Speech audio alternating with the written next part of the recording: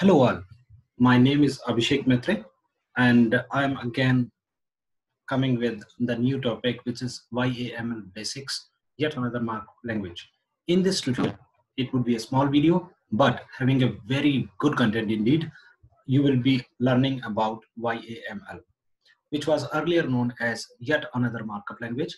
Now it is known as yet int markup language. So its brief introduction about YAML is it is a data serialization language.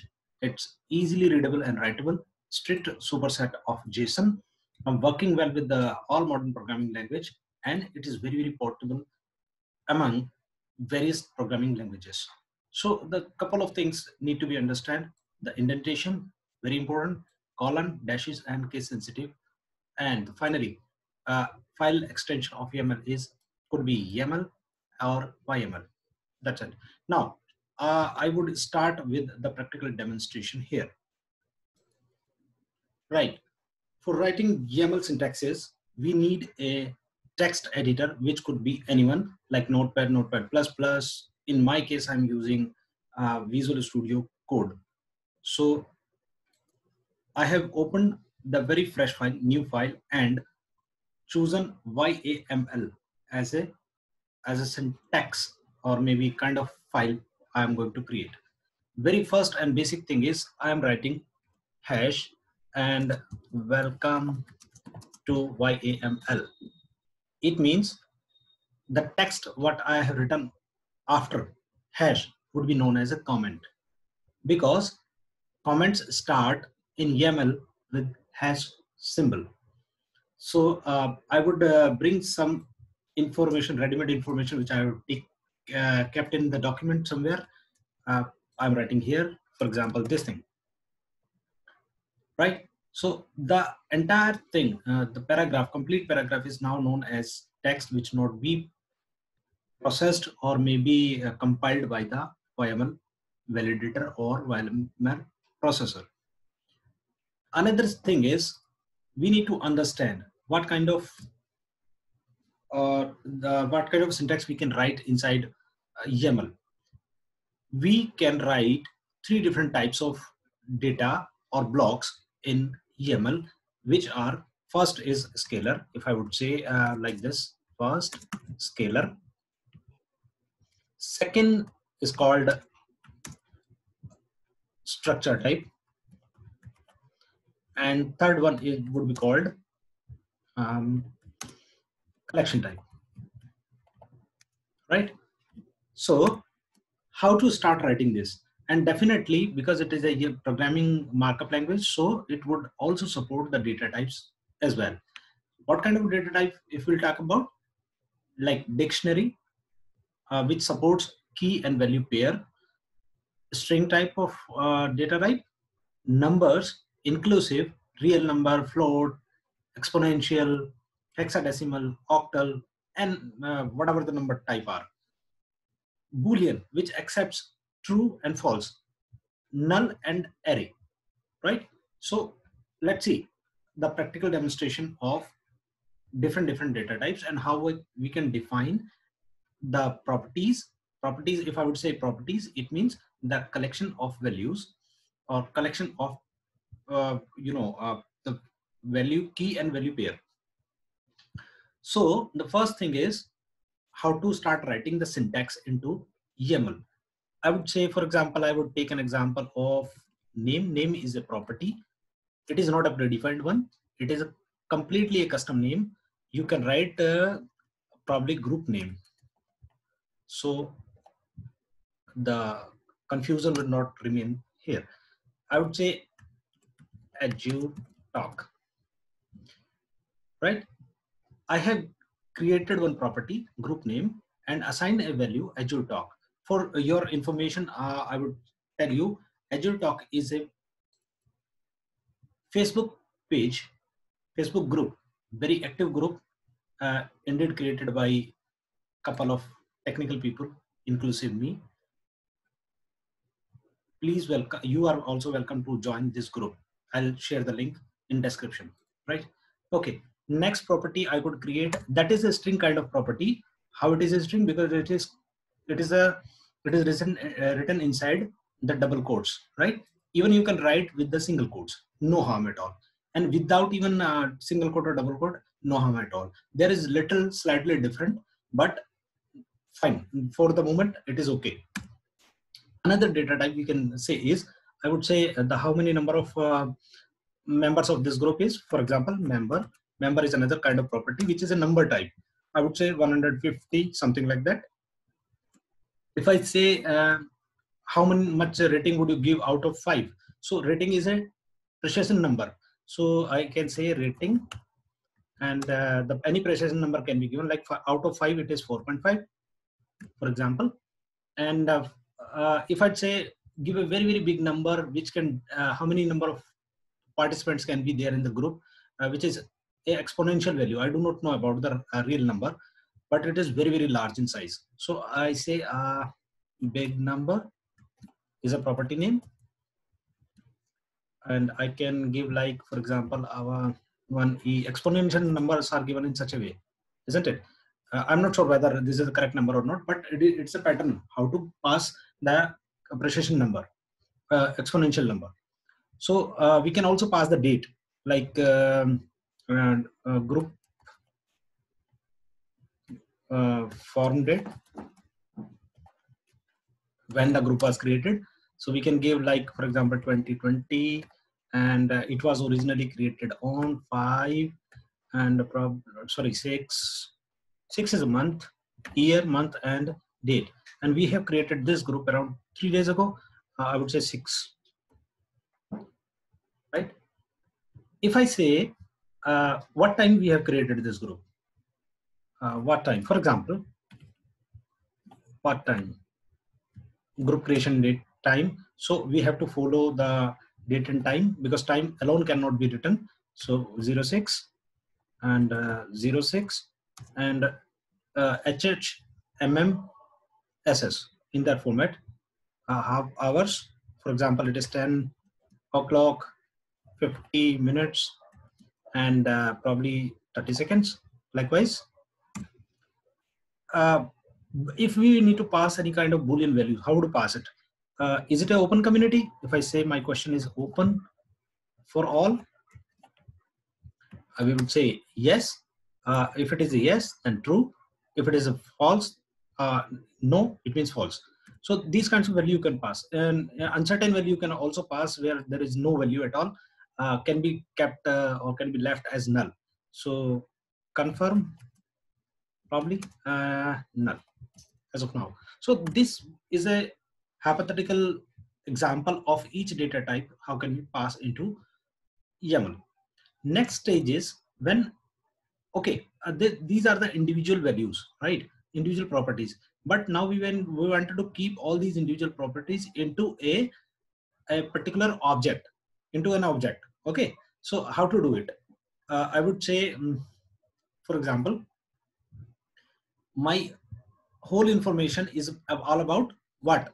it's about the community so community uh, can be a main object under which the all data can be written uh, I, without even writing i can just copy and simply paste it and mind it we have to keep remember we are using YAML so that we have to take this thing into consideration to give the proper spacing, right? Otherwise, it won't work perfectly. So that is the syntax of uh, creating an object. Now, community is an object whose internal properties are this thing. Now, uh, another question comes like, how do you access this uh, object's property? So very, very simple uh, if you would write community, uh, it has come dot and I have pressed control space. So it will give the internal properties of, for example, I wanted to see the rating. See this, it has come.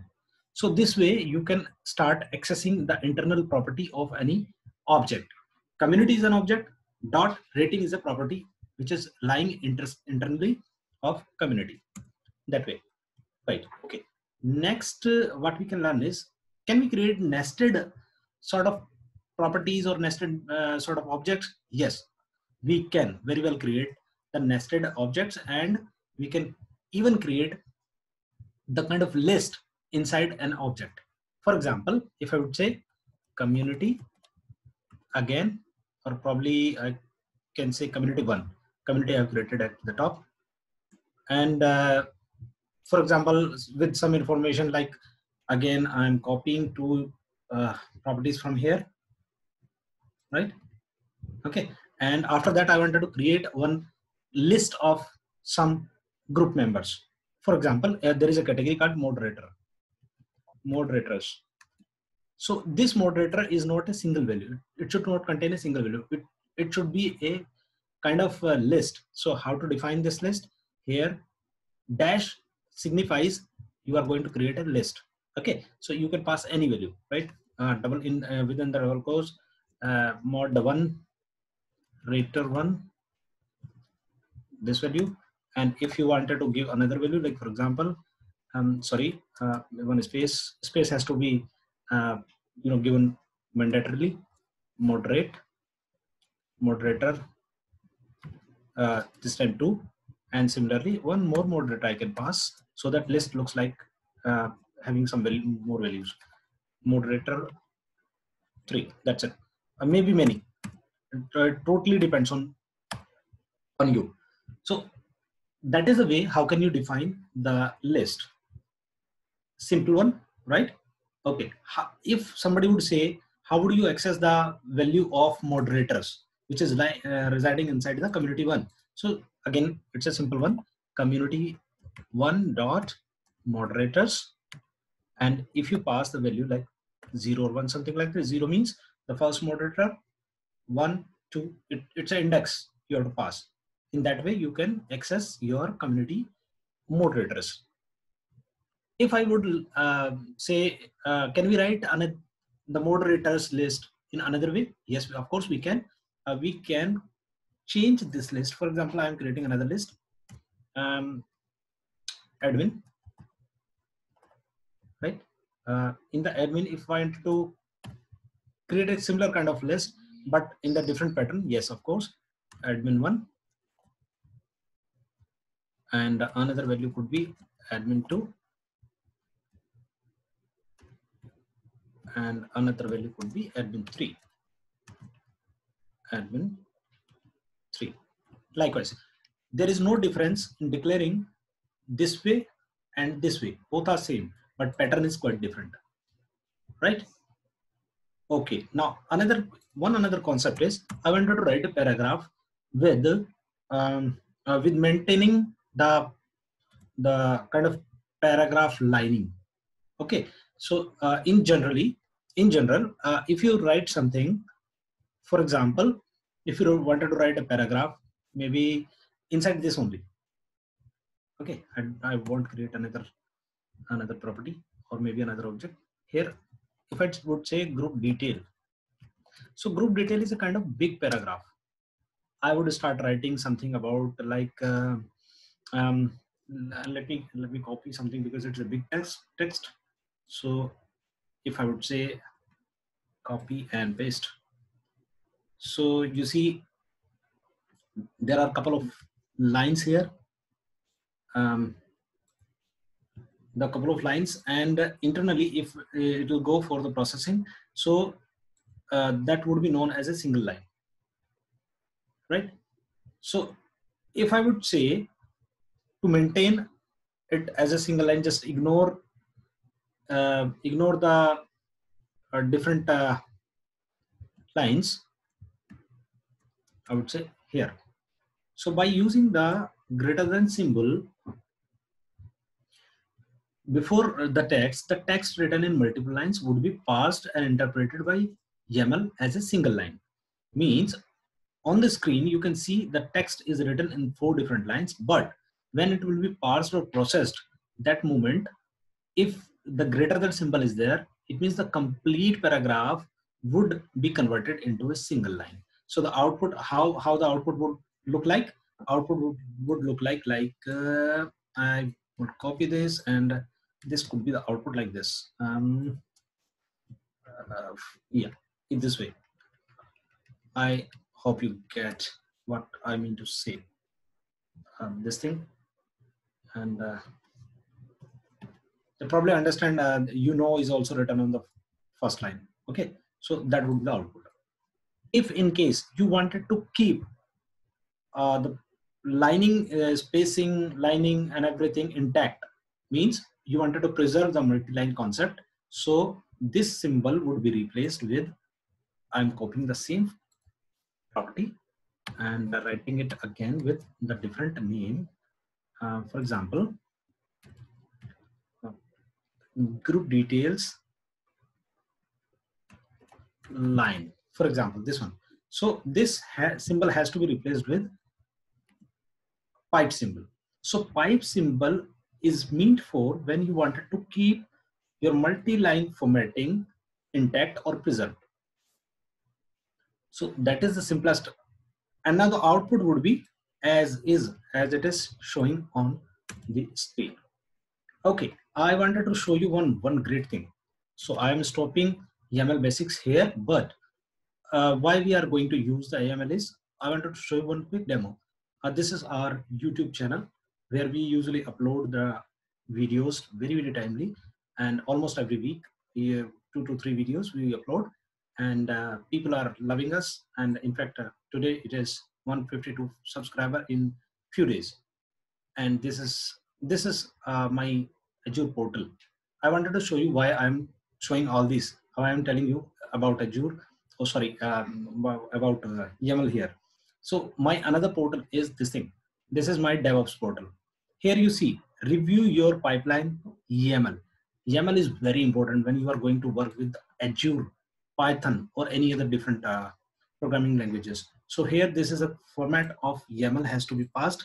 And once you understand these basic concepts, what we have actually discussed uh, in this in this video has to be uh, this will really help you to understand the whole difficult kind of YAML files and you can easily crack it. So we will discuss about, um, we have separated uh, this, con uh, this concept, DevOps concept and uh, Azure concept in that separate videos. But for this video, we have, uh, we have learned enough about the YAML, how to start YAML. Although uh, YAML is not this much of a small, but you have to explore more about YAML, but these are the basic things. And one good thing I tell you, uh, I'm writing some of the online validators. How would you validate your YAML file after writing? Because if there is a, even a single space uh, problem or maybe indentation is not correct, it means your YAML won't work. So these are the online uh, YAML validators. You can go and just click on this, open this, any of the validator and uh, keep your uh, probably uh, I'll say this. You can check your YAML there whether it is correct or wrong. Uh, I put it here. No error. Your YAML is perfectly valid. Like this way you can just validate your YAML and go for the next development many thanks for watching this again I would ask you to please join Azure Talk on Facebook this is a group we have created this group three days ago but we are receiving very good number of uh, participation in this. And please don't forget to subscribe InGenius channel. And uh, for InGenius channel, what you have to do is after YouTube, you have to write InGenius YT. That's it. And URL. Right? So that is the link. Thank you very much for watching this. I'm stopping this video. Thank you.